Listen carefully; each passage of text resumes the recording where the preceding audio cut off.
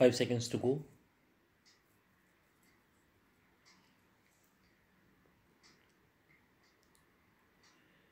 Start. The argument of Sri A.K. Gore, learned counsel for the petitioners, that the contempt proceedings are not maintainable is therefore without any substance on the facts as disclosed and discussed herein above in the present case. The judgment in the case of T. Sudhakar Prasad Supra as relied upon by the learned counsel for the petitioners,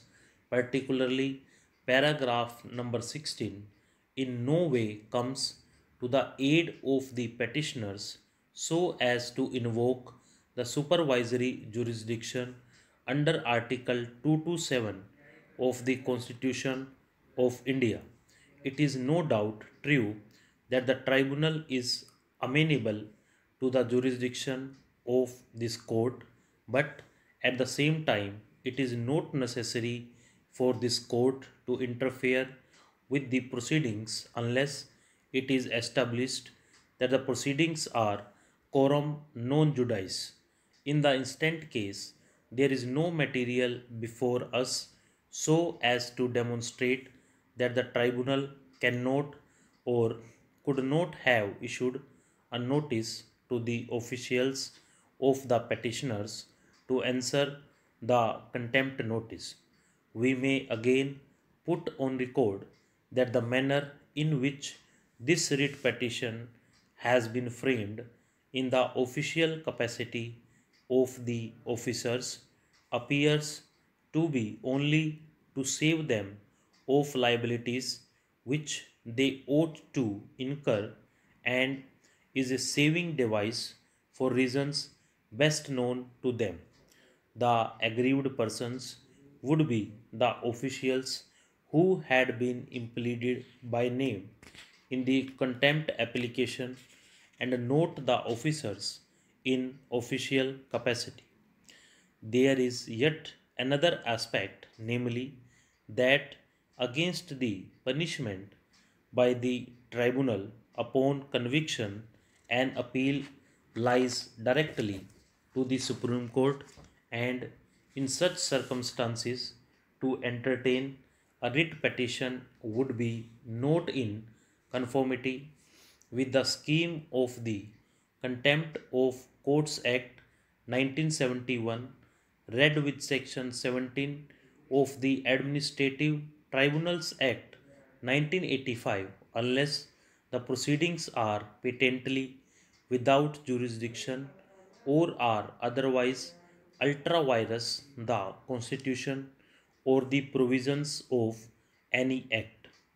A writ petition may lie against an order of the tribunal refusing to issue notices for contempt as held by the apex court in the case of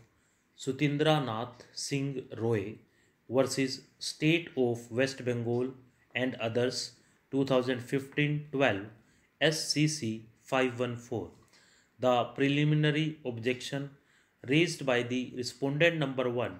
as incorporated in the interim order dated 16 December 2010 had not been answered in the said order nor have we been able to find any argument on behalf of the petitioners that may dislodge the preliminary objection raised by the respondent. Further, as observed herein above, once the tribunal itself had issued directions on 22nd January 2008 for ensuring the orders for compliance in the contempt to jurisdiction and leaving it open to the respondent number 1 to file a fresh contempt application in the event of non compliance vice judgment dated 22nd January 2008 we see no reason over and above the reasons indicated herein above as to why the respondent number 1 could not have filed the contempt application when he alleges the order dated 24th February 2010 to be a contemptuous order which is yet to be examined in the proceedings before the tribunal. It was urged that the petitioner has no grievance as he was not residing at the premises in question and only an ex judge was residing who exerted his authority in getting the registration under the Sarais Act cancelled. It was urged that the grant of registration under the Sarais Act was a matter between respondent number 3 and the authority as well as the petitioner or his brother had no locus standi to raise any objection. It was alleged that the brother of the petitioner used his influence to get the registration cancelled. This assertion, in our opinion, is patently erroneous and bereft of any merit. There is not an iota of evidence brought on record to indicate that any kind of pressure or influence was exerted by an ex judge of this court upon the administration in cancelling the registration. The petitioner had a locus as well as a right to object to the grant of the registration under the Sarais Act and after the grant when the terms and conditions of the registration certificate was violated with impunity the petitioner had every right to object and pray for cancellation of the registration. On the other hand, the court finds that after the cancellation of the registration certificate by the authority, respondent number 3 initially took a legal recourse by filing a writ petition in which an interim order was granted by the court but subsequently respondent number 3 withdrew the writ petition to enable him to approach the authority based on which a review application was filed which was rejected by the authority and the matter came to an end thereafter. After the expiry of 6 months the record reveals that a recommendation was obtained by respondent number 3 from a powerful state minister as well as from a local member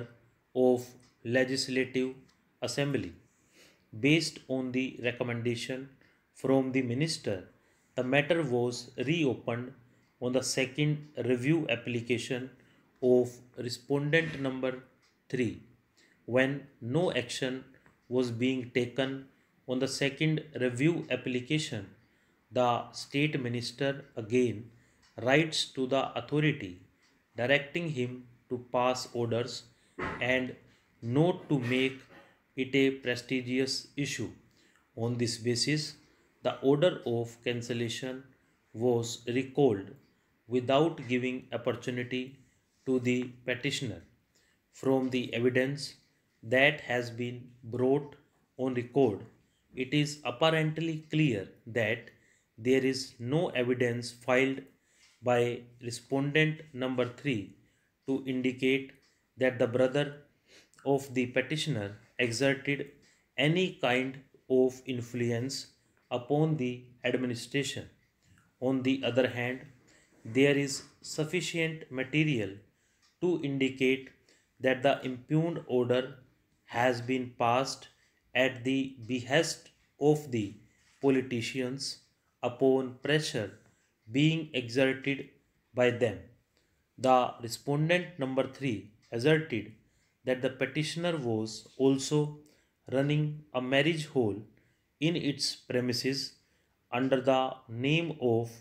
Lakshmi Narayan Vatika.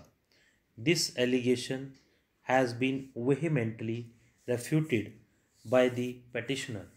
the petitioner contended that there has been a partition in the family and a portion of the land has gone in the name of his nephew who is is running this marriage hole. Stop.